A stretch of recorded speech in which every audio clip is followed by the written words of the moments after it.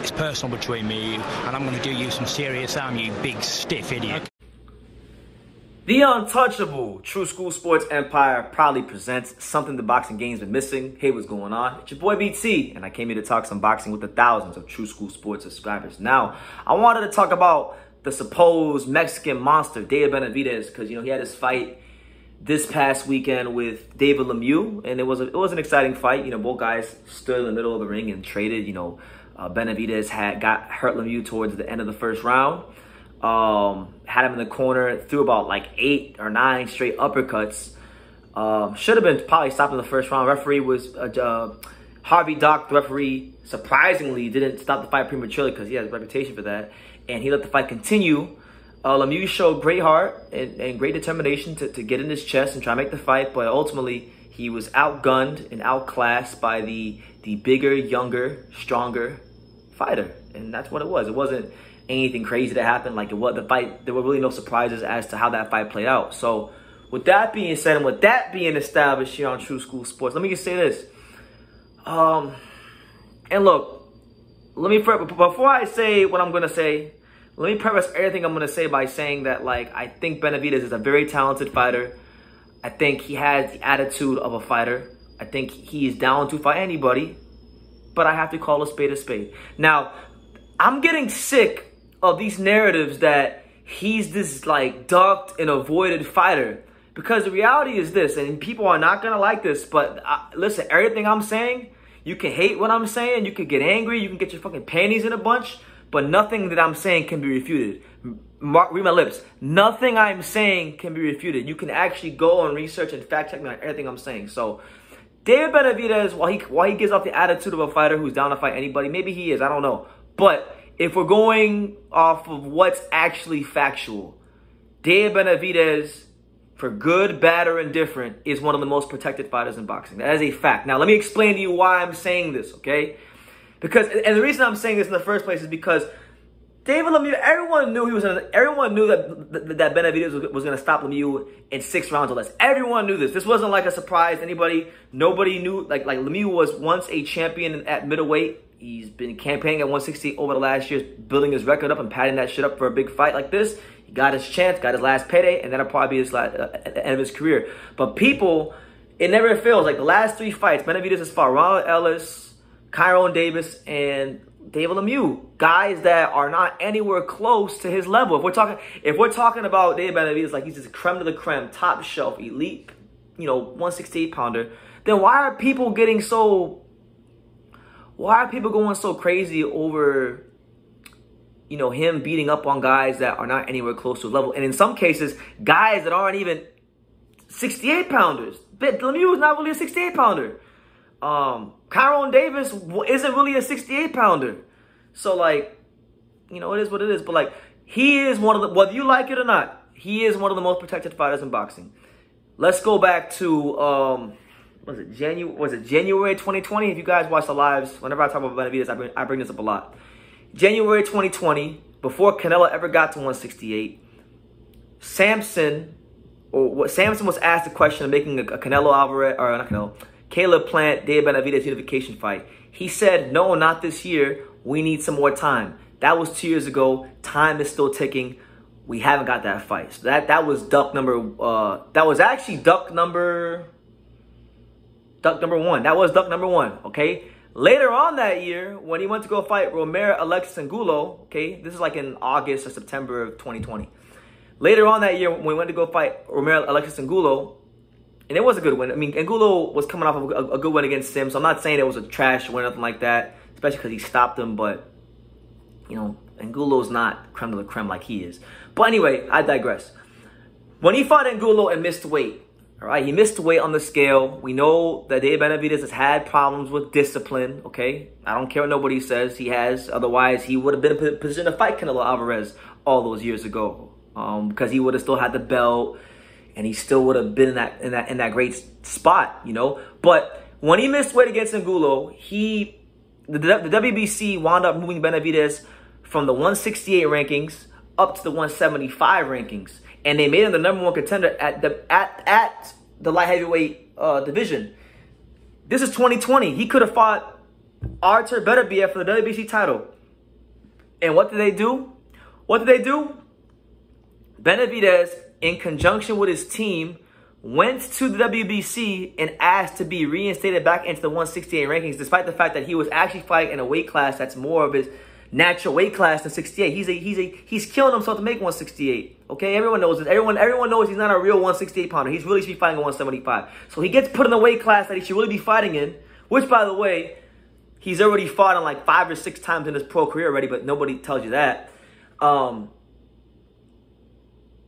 he has ch- the chance to challenge one of the hardest, most devastating punches in the sport and give the fans a great fight and and and really put himself in a position for massive fights. Because if he would have been in that position, Canelo Alvarez might have obliged him and taken the challenge, but he didn't have that belt, you know, so he didn't fight him. But Dave Benavidez uh, ducked Artur Beterbiev clear as day. I don't care what you say. If you get elevated to a, a weight class as a number one contender, in a weight that's more advantageous to you and you decide to not fight the number one contender and ask and petition to get put back in the weight rankings of the lower weight class, it means either A, the fighter does not believe in his abilities to beat uh, uh, the champion in the higher weight class, or B, the team of the fighter does not believe in the in the fighter's ability to beat the champion of the high weight class. But either way, either one you want, either one you think it is, whether it's Sampson and his dad, or whether it's David himself, it's not a good look. And, and, and I say all these things not to put David down because I'm not, I'm not trying to do that. I like David. I've been a fan of David for years.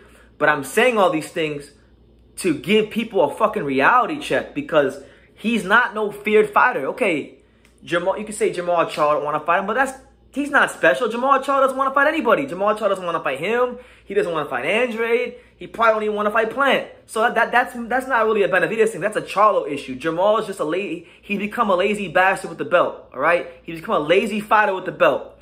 That's not really a David thing. That's a Jermall thing. But I'm just saying this to, to, to give people a reality check. Like he is a, a fun fighter to watch. He is very talented. He could be one of the best fighters in the world. We don't know that yet because whether it's him or his team, things aren't happening. Now, ideally, right? We can't we can't change the past. We we can't change the fact that him and his team avoided our Artur Beterbiev. But what we can change is what we do next. All right, that, that, and that's how life works. We can't dwell on the past and any past mistakes. We all make mistakes. We all fall short of the glory of God. I'm nobody to, to, to judge, but I'm just calling how I see it. Benavidez now has a chance. Now, I, now look, I don't think he's gonna do this, but I but I believe that he would be a lot better at 175. He's, he's he first of all he would, he would have to make he, he would have had the sharp weight cut. Second of all, there's better fights. Like there's way better fights at 175 for David. Now these fights with Plant and Charlo and Canelo um, and and Morrell, they're not getting any of those fights. And let me tell you why. All right, because uh, on the Sampson had mentioned in his Sampson, his manager Sampson Lewkowicz you know, the very great manager. He uh he mentioned the short list for the guys they want they're looking at fighting next. Now he mentioned Plant, which I don't think is gonna happen because Plant's not gonna go straight into a big fight after fighting Canelo. I think Plant fight Anthony Dirrell. Most people believe he'll fight Anthony Dirrell. Some of the reports that we've heard in the past have been about him fighting Anthony Dirrell. So I think that's where he's gonna go. Maybe they could revisit that in the spring of 2023. You look at David Morrell Jr., great fighter, exceptional young talent, but he's only 6 and 0. And with him being 6 and 0, he's doing a lot of talking, trying to get his name out there. And I think he'd give Benavidez a great fight because I think Dan Morrell Jr. is a special talent. But Dan Morrell Jr., I don't think that's a big enough fight for Benavidez for Sampson to want to actually uh, make that fight happen. But if, hey, I'll tell you this, if it happens next, all credit in the world. Um, and then uh, Charlo. Now, we've already talked about Charlo. Charlo doesn't want to do anything, so we, we don't need to we, we don't need to uh, talk about Charlo too much, but like there really is nothing there at 160 for David Benavidez. you know, unless I, will give David a healthy a healthy alternative, right? I'll give I'll give David a healthy alternative because he's not gonna. I'm gonna come out in advance. He's not gonna get any of those three fights. He's not. It, so when, when that time comes and he, he doesn't get any one of those three fights against Plant, Morrell, or Charlo, I'll give David a healthy alternative to help him stay busy. Now, not too long ago, David Benavidez um, was going to fight Jose Uzcategui, right? And Jose Uzcategui, good fighter, but he had lost. He's lost. He's already lost multiple times to Caleb Plant and Lionel Thompson. Now you're not going to fight Caleb Plant, but I would love to see you fight Lionel Thompson because I'm going to tell you this: people people may not like it. Lionel Thompson hasn't been able to really get fights, um, but he's still in the gym. He's still working hard and, and, and waiting for that call. Give him a call because you're gonna fight Jose Uzcategui, the guy that Lionel Thompson beat. He was coming off a Lionel Thompson loss, or maybe he had a fight or two after that, but he his last loss was to Lionel Thompson. And Lionel Thompson has only had one fight ever at 168. And Lionel Thompson's entire resume with the one Uzcategui win is better than David's entire um, super middleweight resume. Not saying that that makes him a better fighter because resumes don't win fights, but I'm just saying if you're going to fight the guy that lost Lionel Thompson, why don't you fight Lionel Thompson? I love that fight. You know, that's a healthy alternative. But, you know, 175, you got guys like, you know, Zurdo. I mean, that'd be a great fight. Zurdo, I think, has the size, the craft because he is developing a little bit more craft in his boxing style with Julian Chua as his trainer, and people aren't talking enough about it.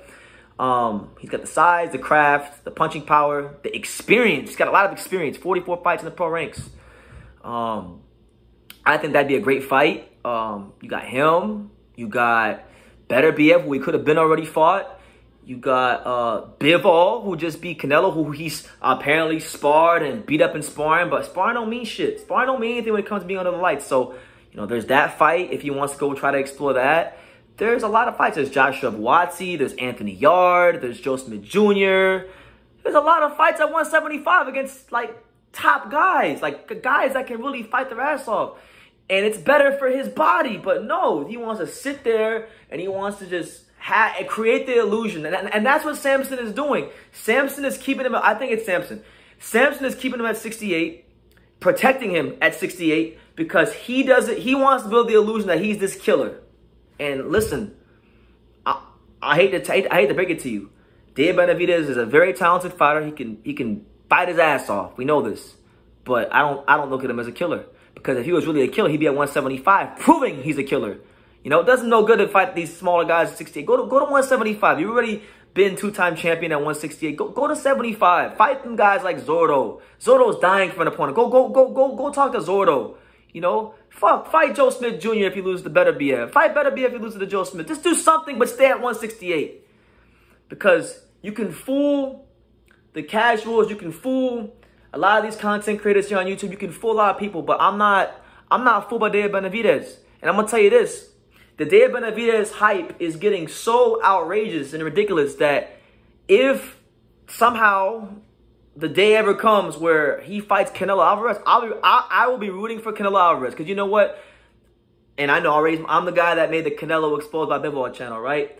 But Canelo Alvarez is is is is, is a proven fighter. Canelo Alvarez, Canelo Alvarez can retire today. He's going into the Hall of Fame. Whether I like it or you like it or not, it's the truth. And you know what? Obviously, there was a lot of smoke and mirrors and a lot of bullshit in the career of Canelo Alvarez, but this shit going on Benavidez is on a whole nother level. It's on a, it's, it's he's, he's actually taking it to another level. I don't know if it's him or his manager, but who the fuck is in charge, all right? The whole team. I'm, I'm going to blame all of them. I'm, I'm to blame David because he don't really seem adamant about wanting to go to 175. I'm gonna blame his dad because when I asked his dad about Benavidez fighting Better Beterbiev all them years ago, he talked about, oh, they got offered to fight a Badou Jack and Sampson. So they all they're all to blame. And and until proven otherwise, Dave Benavidez will, will remain the most one of the most I can't I can't say the most, but one of the most protected fighters in boxing. I don't care how many interviews he does, I don't care how tough he sounds, I don't care how much he sounds like he's down to fight. The reality is these fights ain't happening. So um you know, it is what it is. But I I, I want Benavidez to get these fights because I think he's worth the money. I think he's worth the time. I think he's worth the attention um, of boxing fans. I mean, look, he's worth my time. I'm, I'm, I'm 14 minutes in still talking about him. So clearly, there's something about this young man. There's something about this young fighter that um, that's worth talking about. And that's why I'm talking about him because I, I, I think he can become uh, great. Now, people people say, right, like, people say, right, oh, well, he's only 25, right? Like, and I'm getting sick of this in boxing. Like, the, the like that's why boxing kind of pisses me off because you know when, when when you criticize a fighter for yes he's young as far as his age, but in terms of ring experience and rounds boxed, he's not young.